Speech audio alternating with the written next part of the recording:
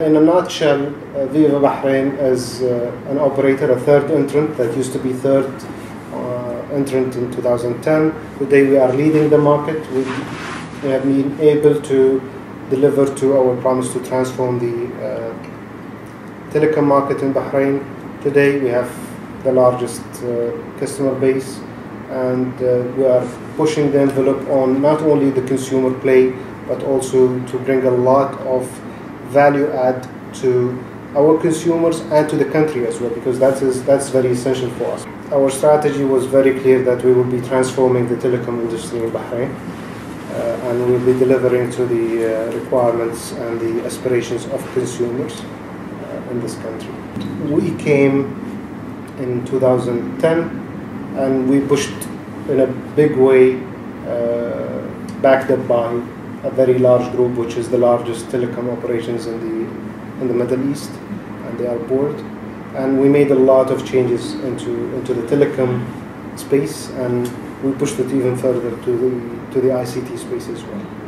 We made sure that this country is at the forefront in terms of technology and uh, competing not only at, uh, at a regional level, at a, at a local level, but also regionally and globally as well. We have been growing very nicely uh, in the corporate space as well as investing heavily on our uh, corporate clients' requirement. And, and, we made sure that we are not only bringing the conventional services, because we do guarantee the conventional services in terms of quality, in terms of being very competitive in terms of pricing and so on and so forth, but we also bring the extras. And the extras to me is, is very important when I start talking to corporate accounts We are doing a lot of businesses with different verticals, you name it, whether, whether it is banking, whether it is uh, education, utilities, and we managed to, to have a very uh, uh decent uh, set of customers that are sophisticated enough and uh, do have a lot of confidence on what we provide as, as services, whether it is conventional or, or more into the digital applications and cloud services. I think Bahrain has made uh, the right decision on considering ICT as an opportunity for country to diversify its uh, economy.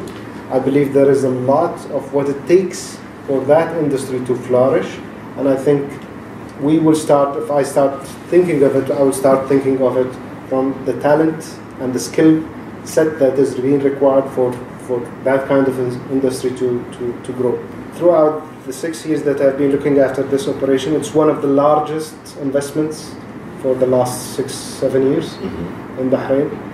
And I never hesitated in investing, and I will never hesitate in investing in Bahrain. Because I do have the confidence on, on the system, I do have the confidence on the, on the regulatory framework, on the policy making, the government structure.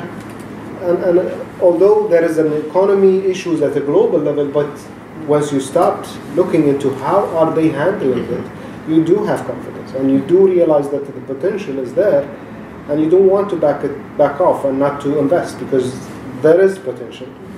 I think there is that potential of providing telecom services to the region, financial services to the region, tourism services to the region, and beyond as well.